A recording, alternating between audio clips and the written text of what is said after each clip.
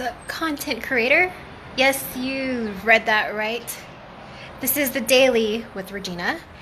And uh, according to Demand Metric, content marketing costs 62 62% less than traditional marketing but generates three times as many leads.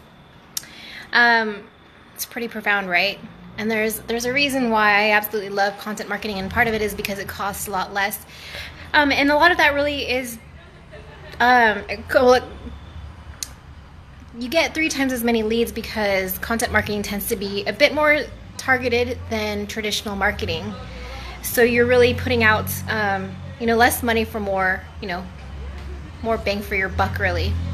Um, but that really means too that when you're starting to put content out there, you really need to think of things like what your business purpose is, uh, what your goal for the year is, and the specific person that you're talking to. So a lot of times I'll ask people, well, hey, um, yeah, so who is your who is your target market? And a lot of people are really, really general with um, who they're trying to target.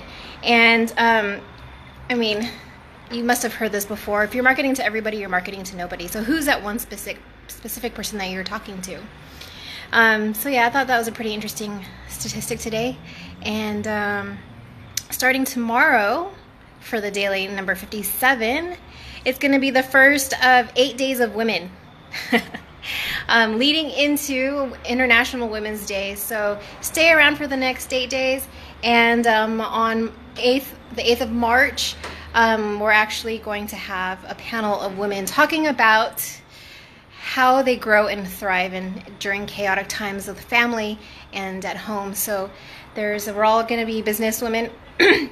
entrepreneurs, excuse me, entrepreneurs um, in our own specific areas, and of course, I will be talking about content marketing, but also how I'm able to thrive in during crazy, crazy times. So, I will see you on the daily number 56, and I will see you over the next few days during uh, the lead up to International Women's Day. Talk to you guys later. Bye.